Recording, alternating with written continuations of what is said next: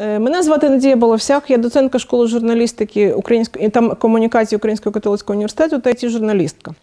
Е, З початком війни я вирішила допомогти нашим студентам організувати інформаційний спротив.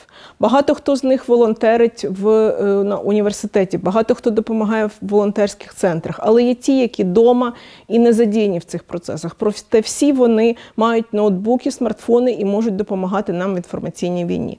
Тому я, е, по-перше, зібрала всі е, поради, способи ведення інформаційної війни, які полягають в тому, щоб, по-перше, скаржитись на фейки, по-друге, блокувати пропагандистські канали. І по-третє, розповідати через соціальні мережі е, світу та росіянам про те, що відбувається в Україні та що їх чекає.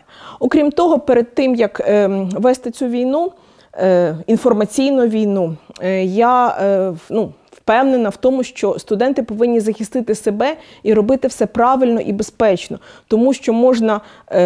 Робити це таким чином і втратити свої власні акаунти і свої власні профілі.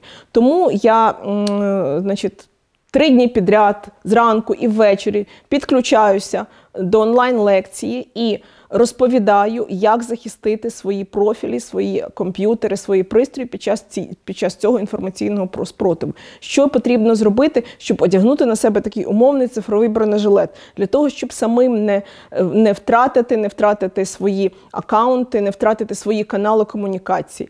Ми підключаю, підключаюсь вранці і ввечері, даю короткий інструктаж, відповідаю на запитання і розказую про якісь нові ідеї, як можна це все робити. Хоча вони у нас зібрані в документі, і багато студентів вже кажуть, що вони, сидячи в себе вдома, в Львівській області, на Західній Україні, намагаються це робити, долучились до цих всіх процесів.